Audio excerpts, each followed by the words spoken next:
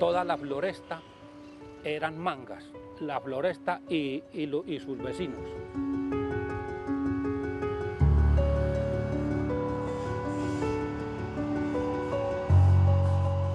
La primer casa, según estudios que han hecho, la construyó la familia Pulgarín en 1943. Y de ahí se empezó a poblar, a poblar, las casas son muy grandes, todas las calles son muy amplias. Está arborizado, tiene muy buenas zonas verdes. La gente de la floresta, la comunidad es una comunidad muy, muy hermanada, muy solidaria, muy amigables. Ha hermanado mucho al barrio el deporte. Este partido eh, más o menos viene desde 1984. Luego de haberse inaugurado esta, esta unidad deportiva, se viene realizando desde como hace como más de 30 años. Y no hemos dejado caer este, este partido o este, esta recochita como llamamos de rojo y verdes.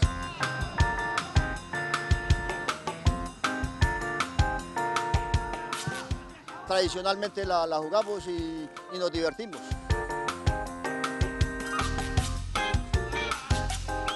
Cualquier persona que venga aquí puede participar de ese partido 10 minutos, una hora, media hora.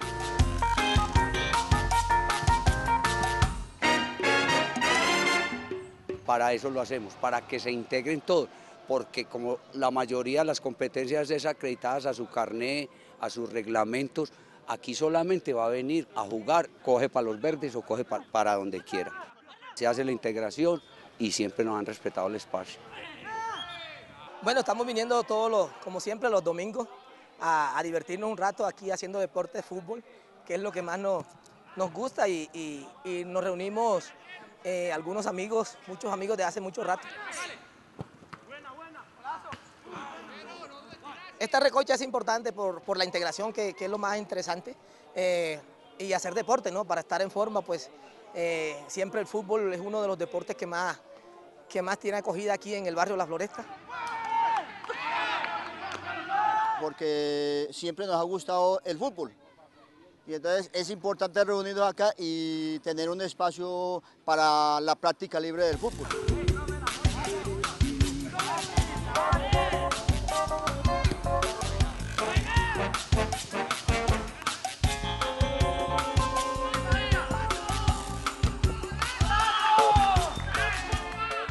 El hecho de que hubiese tanta manga tanta zona verde en la floresta en sus inicios generó que la gente le gustase el deporte. Mario Agudelo junto a Oscar López fue, fueron los jugadores más espectaculares que ha dado la floresta. ¡Dale! Embajadores Fútbol Club lo hicimos en 1999 con unos señores que ya fallecieron, Mario Agudelo, Bernardo Cunda Valencia, que venían de jugar de Millonarios. Más mi persona que también estuve allá en Millonarios.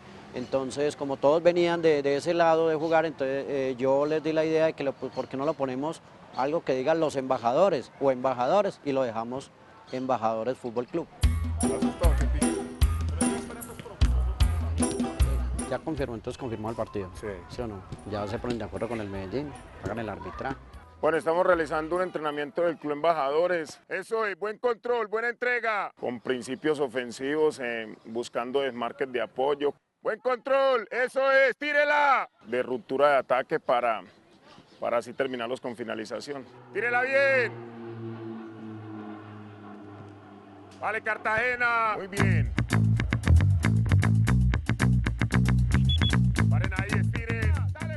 Tenemos aproximadamente 170, 180 alumnos. Tenemos categorías desde los 5 años. Participamos en Liga Antioqueña de Fútbol, eh, eh, torneos de la Preponi, otro torneo que se organiza acá, Floreciendo Sueños. Eh, ahí estamos compitiendo, todos los niños están jugando cada ocho días en sus respectivos torneos de por acá de la zona de la comuna y los otros más grandecitos en Liga Antioqueña de Fútbol. Aquí se me va a colocar primero esta línea de cuatro. Por izquierda me va a poner José David y por derecha me va a parar Julián.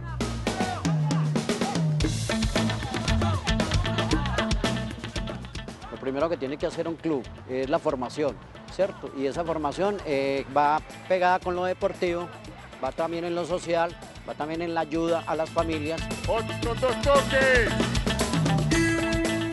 Lo más importante es eso, pienso que, para la sociedad es importante tener eh, personas de bien, personas íntegras y pienso que el deporte es una buena forma de, de llevar como, como ese buen comportamiento en la calle. Nosotros, eh, esa es la cultura de nuestro club y por eso es que nos dedicamos el día a día. Todos los días que usted vaya a la cancha, absolutamente todos los días, están los muchachos jugando fútbol.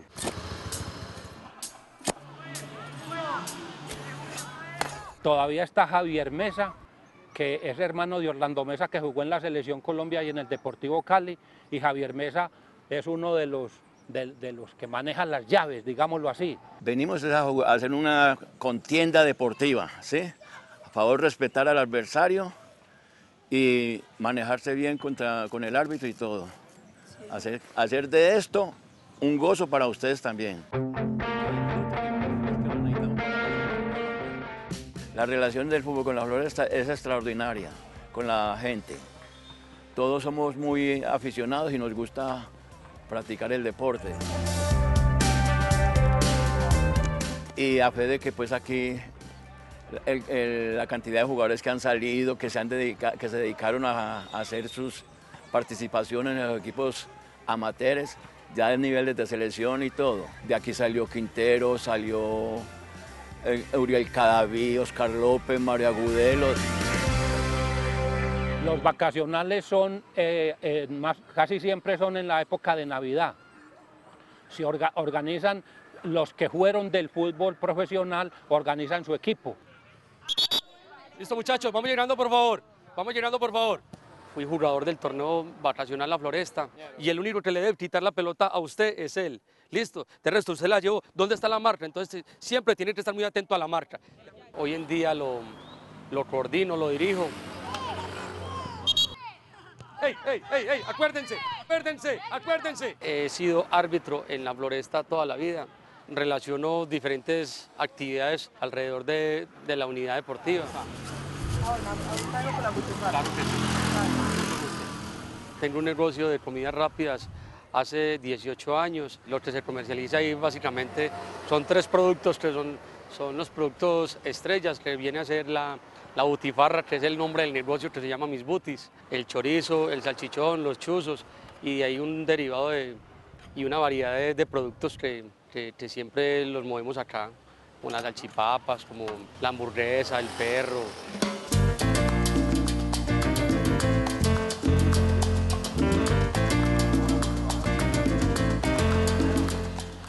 Negocio funciona básicamente después de las 3 de la tarde, de lunes a viernes. Es un espacio en el que yo hace 35 años he estado acá, entonces siempre he querido estar acá en el ambiente futbolero, en mi programa, en, en mi parche, como lo llamamos. A veces es complicado, aquí tenés que vivir, tenés que vivir diferentes, diferentes situaciones, por ejemplo, cuando el calor, la lluvia, hay que pasar muchas adversidades, pero eso es lo que lo fortalece a uno en los negocios, la, perseverancia.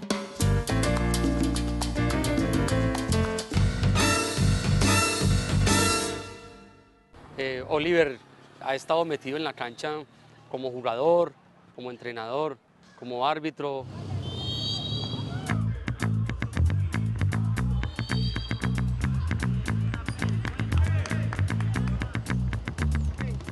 Cuando no estoy en la cancha, estoy alrededor, aquí en el negocio de mis butifarras.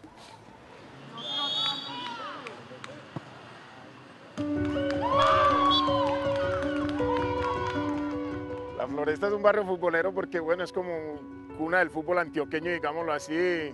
Si puedes ver acá, eh, la gente durante todo el año hay torneos, en diciembre, durante los fines de semana. Siempre han habido formadores, siempre han habido entrenadores. Porque aquí nacieron muchos futbolistas, aquí el que no jugaba fútbol se tenía que ir a, ir a vivir a otro lado por decir algo, ¿cierto? La Floresta es un barrio futbolero porque con ese deporte nos levantamos todos.